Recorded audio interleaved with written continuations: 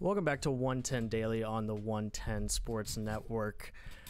Listen, right now the Dallas Cowboys aren't America's football team. Right now it's the Coastal Carolina Chanticleers that are America's football team. And here to talk about America's football team is Coastal's own Sam Weiderhaft. Uh, Sam's a part of the athletic department uh, down at Coastal Carolina. Sam, how you doing, buddy? Josh, I'm great. How are you? I'm doing well, man. It's good to hear your voice. It's been uh, it's been quite a few months since we were we were down at Butler together. So I'm I'm glad to hear you're doing well and have stumbled into this absolutely incredible uh, situation where you're you're not only employed full time employed, which I'm incredibly jealous of, but you're also but you're also getting to day in and day out uh, talk about and be around a football team as as fun as Coastal is. Man, it's incredible, and I, I got to say, I'm really impressed with uh, the way you said Chanticleers is correct. I Thank mean, you. that first try, you you get it correct, which not a lot of people have this year. Um, we've had to tell a lot of broadcasters and put some videos out about how to correctly say Chanticleer, Mm-hmm. but you got it. I Um, but no, you say what'd you say? I appreciate that. You know, I, as someone who has a last name that is consistently uh, mispronounced, I, I made sure to to get it right. Yeah, that's that's that's fantastic. Um, no, but I mean, you say you say stumbled in, and you're absolutely right. I mean, I, I had an opportunity to uh, to work at this school because you know there there wasn't a lot of things going on. So it was back in June when I kind of started talking, and we got a plan in place in July, and I got here at the end of August, and you know at the time I was just thinking, yeah, I'll go work for a Sunbelt school, you know, Division One, and uh, have an opportunity to work in an athletic department at a time right now where there's not a lot of opportunities to do that.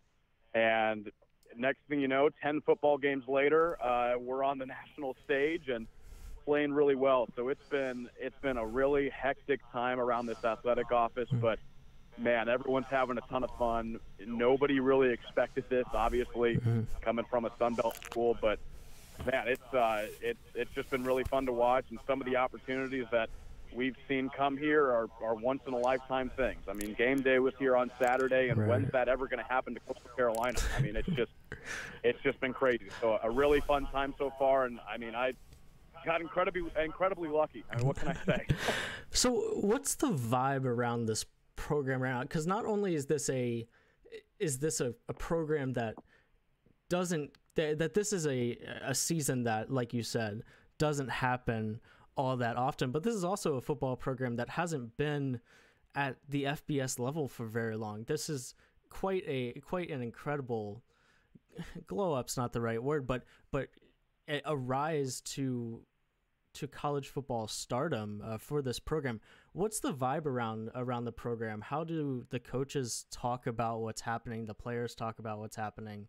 Uh, where, what's their headspace right now? Because I can I can imagine that I I would be a little bit like I can't believe this is happening.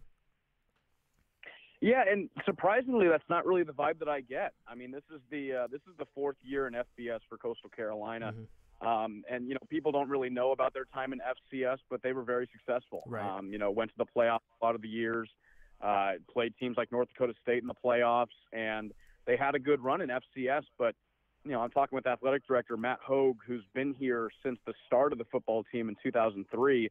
He was actually the play-by-play guy and got somehow into the athletic director position back in 2014.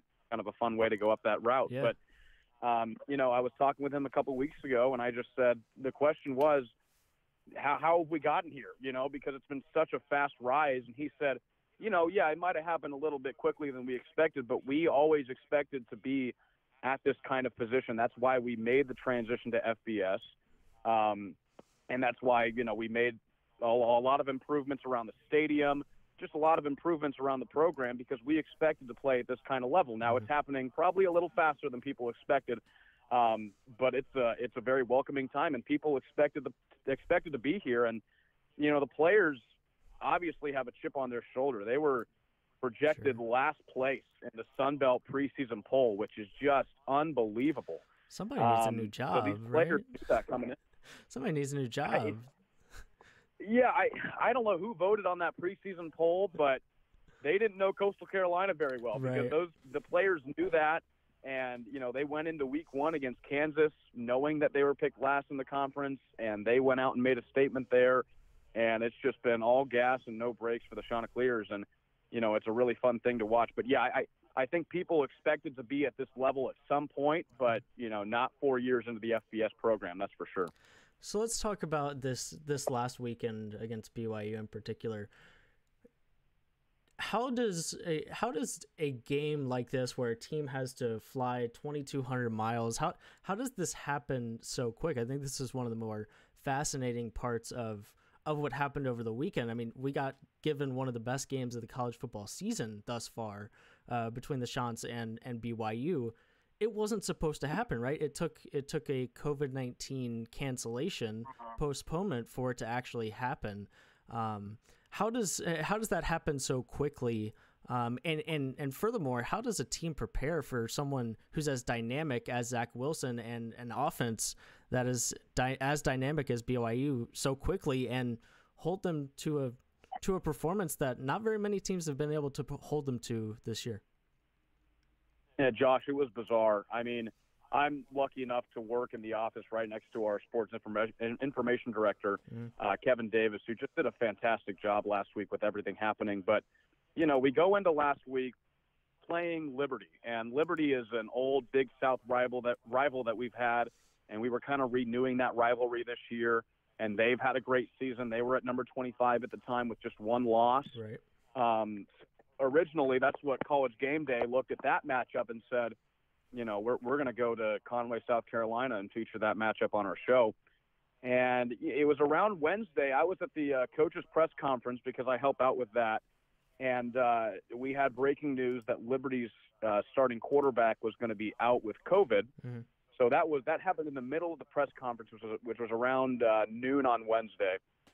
So, you know, I didn't really think much of it. I just thought, all right, you know, backup's going to have to come in for Liberty, and they're just going to have to. They're obviously going to play the game, right? I mean, they're going to be on game day. It's not like it's not like they're going to cancel. Sure.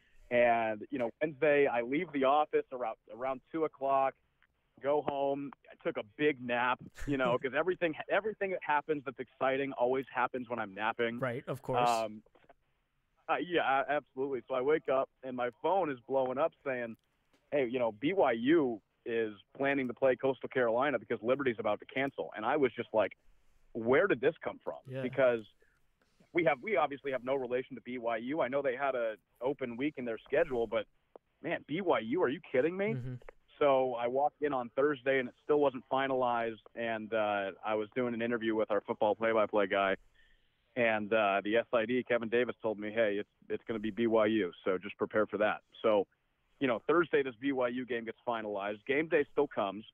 Um, and it's just uh, it's such a quick turnaround. Now you're talking about not the 25 team in the country, but a top 10 team in the country. And you mentioned Zach Wilson, who was a, a Heisman candidate. Right. So I interviewed our, uh, our I interviewed our defensive coordinator uh, yesterday and just kind of asked him about that turnaround. And you know, he said it was tough. It was the craziest week of his life. And on Saturday morning, the morning before the game, he's doing situational adjustments for BYU, which he says usually gets done earlier in the week. Right. So it was such a fast transition, and you know I, I think the game kind of showed that both teams didn't really have a lot of preparation done because it was. You know, Coastal held the ball. We held the ball for over 30 minutes, and we were just running it mostly. I mean, we only threw for, for 85 yards, so we were mostly keeping it on the ground and uh, we were just sticking with our bread and butter. And this defense showed that they're the real deal. And Chad Staggs, our defensive coordinator, I believe is going to get hired somewhere after this year because he's just shown day in day out that this defense can compete with the top of the with the top of the college football world, and that's what they did on Saturday and really shocked everybody.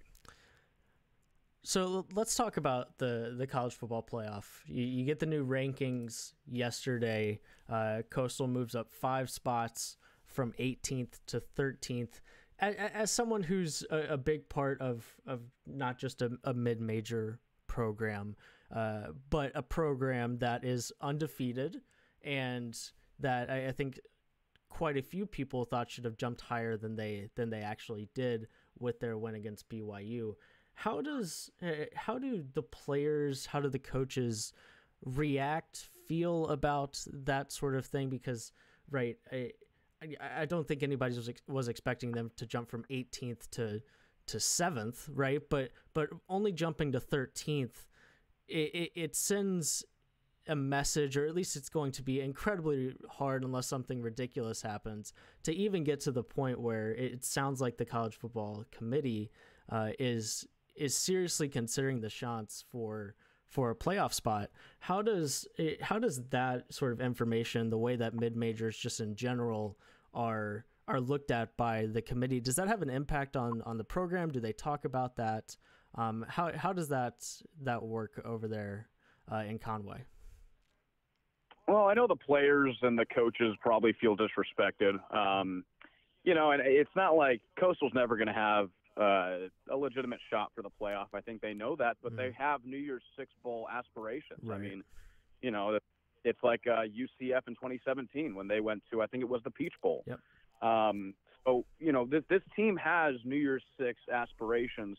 Um, but I mean, yeah, they, they, they feel disrespected by the rankings. Um, I think people projected uh, Coastal a little higher, especially when you have schools like Iowa State ahead of them who got beat by 17 against a Sunbelt Louisiana team that Coastal then beat sure. a couple weeks later. Sure. Um, you know, you got some you got some Power Five schools with two losses up in the rankings, and that's just how it's going to go. I mean, Power Five schools are uh, are going to get priority when it comes to those things. So the players feel disrespected, but at the end of the day, you know, head coach Jamey Chadwell always says we got to control what we can control. Mm-hmm. You know, they can't control how the committee votes.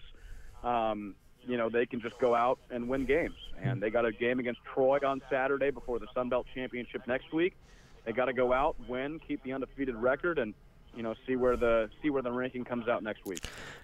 You just being a college athletics fan, not necessarily working for for the Chants. How do you feel about Ohio State being fourth? I I think this is a fascinating conversation to have because it's a conversation the committee is having for the first time because you just number of games being played has never been a question really until this season. I'm just curious, uh, as a as a fellow sports fan, uh, what do you think about that. Yeah, it's crazy. I mean, I think what the Big Ten is going to end up doing is changing their rule, just like the ACC did to get Clemson and Notre Dame in their championship game. I think yeah. the Big, Ten, Big Ten's going to have to do that because at the end of the day, the conferences want their team in the playoff. Mm-hmm. Um, greatly, you know, from a from a money standpoint, you know, they need Ohio State in the playoffs. So, you know, it's tough. I think uh, it's you know not all of it's on Ohio State because they've had games canceled by the other team. I mean, this was right. Michigan. You know, Michigan right. had a COVID issue, and uh, they were the ones that canceled the game. It's not Ohio State's fault. Mm-hmm. Um, you know, so that's it's a tough question, but I think at the end of the day, the Big Ten's going to end up changing the rule so Ohio State can get in the championship game to give them a better chance at making the playoff. But I, you know, I really hope that we never have to deal with this situation again because it's so confusing to keep up with. Yeah. Um, you know, who's playing and who's not, and you know, I, I really don't think we will. But just a, just a crazy situation from a playoff standpoint. Yeah, and I, I have a hard time being mad about it just because at the end of the day, I want to see the four best teams in college football in that playoff.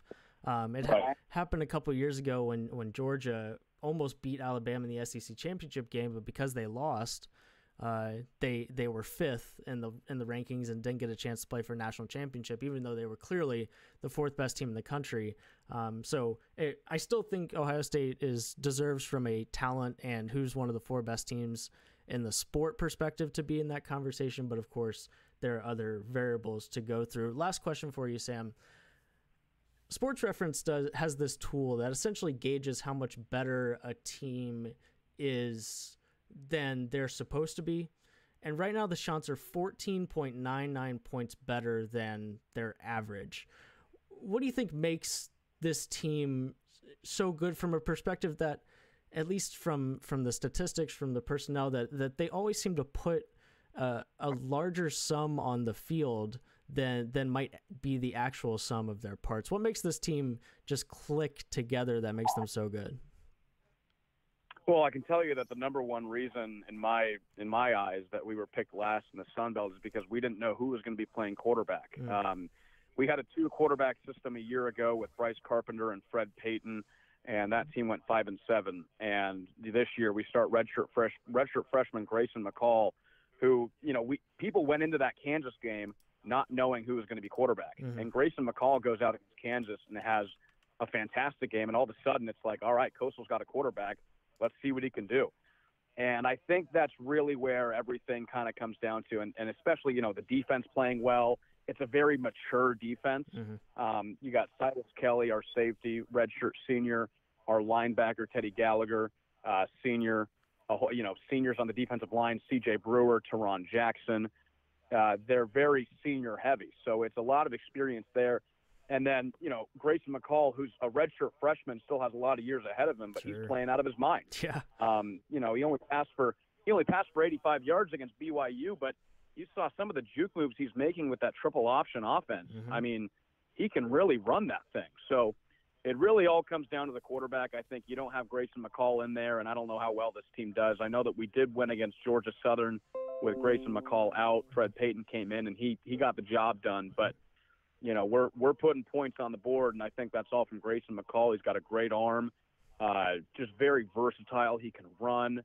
He is the center of all things in this offense, in this triple option offense. So he's been incredibly fun to watch. He should be in the Heisman conversation. He's obviously not going to be because it's Coastal. Right. Um, but he is uh, he's been fun to watch this year, and I think that's really what it comes down to is we found a quarterback, and we're really we are really writing the success of, of what he's doing. 20 touchdowns, one interception, and a QBR 80.9. That's not that's not half bad. Sam, thank you so much, brother, for taking the time to uh, come and chat Coastal with us. Uh, very much appreciate it.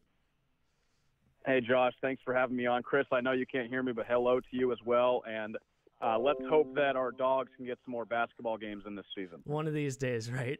one of these days. Uh, all right, Sam. Take care, brother. Hey, you too, guys. See ya. That's Sam Weiderhaft uh, in the Coastal Carolina Athletic Department. Uh, Chris will join me uh, at the top of the hour coming up next for Humor Me Please. You're watching 110 Daily on the 110 Sports Network.